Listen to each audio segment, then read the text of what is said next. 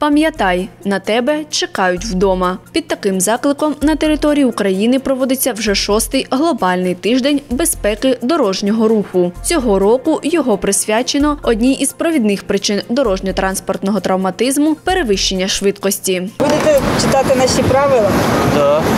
і ваше життя безпеки. безпеки. За чотири з половиною місяців цього року на дорогах Херсонщини сталася 181 дорожньо-транспортна пригода, в результаті яких 26 осіб загинули, а 209 отримали травми різного ступеню тяжкості. Тож в області тиждень безпеки дорожнього руху пройде у два етапи, один з яких вже активно проводиться. Перший етап вже стартував 17 травня та триватиме до 23 травня. У цей період буде значно посилена увага інспекторів груп реагування підрозділів поліції Херсонщини за дотриманням правил дорожнього руху.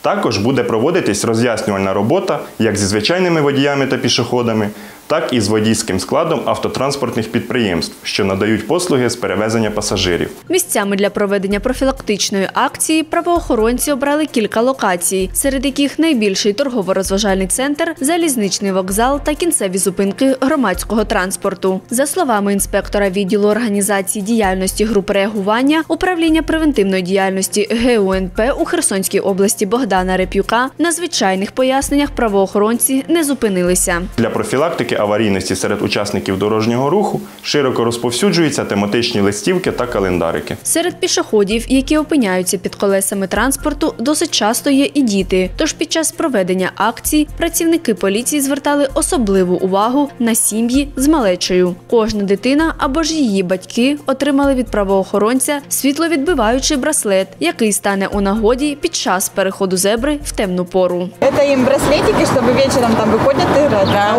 На, на ручку Да. одели и водитель видит тоже. Хорошо, дякую. Спасибо вам большое. Да, вам дякую. Пан Богдан наголошує, попередженню дитячому травматизму на дорогах приділяють чи не найбільше уваги. Тож на врученні світловідбиваючих браслетів інспектори не зупиняються. Невдовзі розпочинається сезон літніх канікул.